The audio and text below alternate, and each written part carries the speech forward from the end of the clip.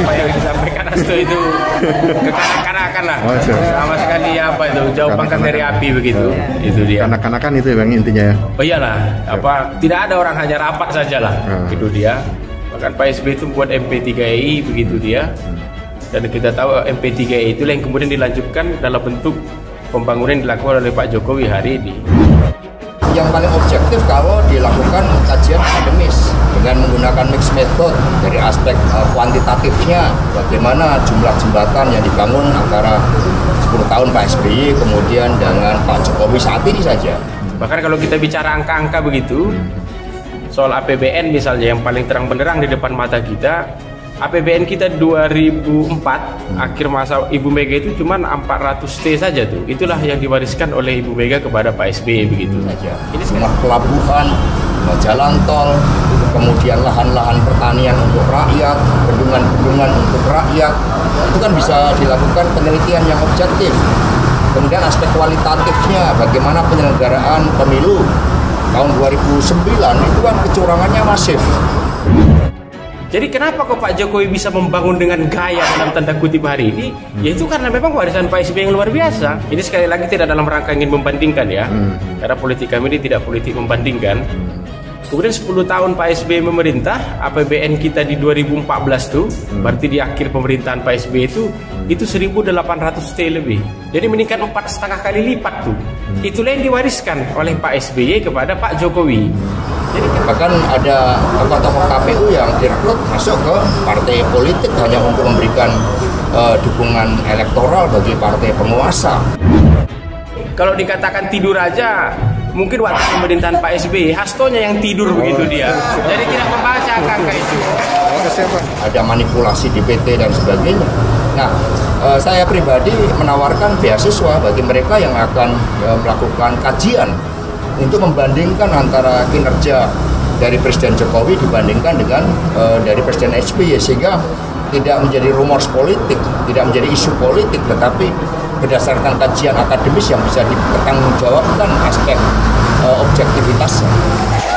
Makanya sering saya katakan, sekali lagi aku malas masuk ke teknis sebenarnya, tapi bisa kita elaborasi lah soal ini. Sering saya katakan begitu, kalau APBN di zaman Pak SBY itu meningkat empat kali lipat begitu, atau empat setengah kali lipat dari 400 T di masa Ibu Mega menjadi 1800 T di masa Pak SBY begitu, harusnya pemerintahan Pak Jokowi ini juga bisa meningkatkan itu empat kali lipat. Tinggal dikalikan. Bagaimana ketika itu zaman dari kita Pak SBY selama 10 tahun ekonomi kita meroket, APBN kita meningkat, utang dan defisit kita terjaga, pendapatan rakyat naik, tingkat kemiskinan dan pengangguran yang menurun. kami lihat dari penjualan makanan, minuman, dan tembakau. Jadi melambatnya penjualan makanan dan minuman eh, dan tembakau masih lebih baik saat era Presiden Jokowi. Lagi-lagi nih eh, skor eh, plus untuk eh, perlambatan di era Jokowi. Artinya lagi-lagi satu skor lagi bertambah untuk perlambatan ekonomi di era Jokowi. Jokowi 3, SBY 0. Lagi-lagi, data berbicara, masih lebih baik perlambatan ekonomi di era Presiden Jokowi setidaknya dilihat dari penjualan mobil. Skor 4-0 untuk Jokowi. Satu poin tambahan lagi untuk Presiden Jokowi, jadi total skor 5-0 masih lebih baik perlambatan ekonomi di era Presiden Jokowi ketimbang perlambatan ekonomi di era SBY. Ini saya ingetin nih sama keluarga besarnya Pak BY, anak-anaknya, mantu-mantunya, tolong jangan cerewet, tolong diam. Kalau nggak bisa melakukan apa-apa untuk masyarakat.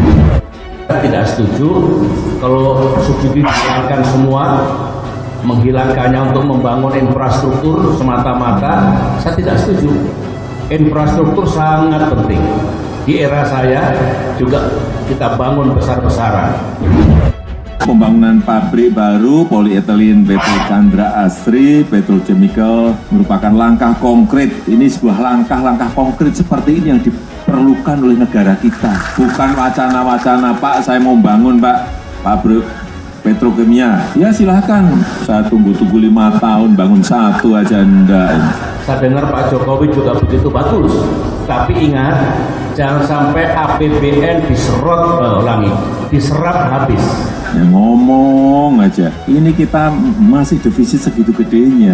Jadi kalau datang ke saya itu betul-betul, saya kemarin saya sampaikan, saya akan datang kalau pabriknya sudah jadi dan beroperasi, itu baru benar saya datang. Kalau groundbreaking saya udah nggak mau suruh groundbreaking. Atau terlalu banyak yang dibawa ke infrastruktur, lantas untuk membantu rakyat kecil menjadi tidak ada. Infrastruktur itu bisa diambil dari dana APBN, dana BUMN, dan dana swasta. Saya naruh batunya, dimulai pembangunan pabrik. Batunya kita taruh, saya tunggu lima tahun kok nggak pernah diundang untuk pembukaan. Ternyata diteruskan aja tidak. Yang paling penting ada penyelamatan aset negara. Kuncinya di situ. Tidak baik untuk kemudian mengatakan bahwa proyek-proyek yang dilakukan dulu itu mangkrak. Ya, Pak SBY juga menyelesaikan banyak sekali proyek yang mangkrak kritik Ibas soal mangkrak bagi saya ya lucu selucu-lucunya. Yang pertama ya eh, kosa kata mangkrak itu sudah khas punya pre, eh, mantan presiden yang kemarin. Jangan membandingkan dengan pikiran yang sangat sederhana. Dulu kenapa mangkrak tidak diteruskan? Kenapa sekarang? Dulu proyek Hambalang masih dalam status hukum. Kemarin itu sudah milik dia, jadi tidak bisa copyrightnya sembarangan diambil oleh Pak Jokowi. Itu sudah khas milik uh, mantan yang kemarin dan kita tahu ada Hambalang dan ada beberapa proyek yang memang sudah mangkrak. Bagaimana ketika itu zaman dari kita Pak SBY selama 10 tahun ekonomi kita meroket, APBN kita meningkat, utang dan defisit kita terjaga, pendapatan rakyat naik, tingkat kemiskinan dan pengangguran yang menurun kami lihat dari penjualan makanan, minuman, dan tembakau. Jadi melambatnya penjualan makanan dan minuman uh, dan tembakau masih lebih baik saat era Presiden Jokowi. Lagi-lagi nih uh, skor uh, plus untuk uh, perlambatan di era Jokowi. Artinya lagi-lagi satu skor lagi bertambah untuk perlambatan ekonomi di era Jokowi. Jokowi 3, SBY 0. Lagi-lagi, data berbicara, masih lebih baik perlambatan ekonomi di era Presiden Jokowi setidaknya dilihat dari penjualan mobil. Skor 4-0 untuk Jokowi. Satu poin tambahan lagi untuk Presiden Jokowi, jadi total skor 5-0 masih lebih baik perlambatan ekonomi di era Presiden Jokowi ketimbang perlambatan ekonomi di era SBY.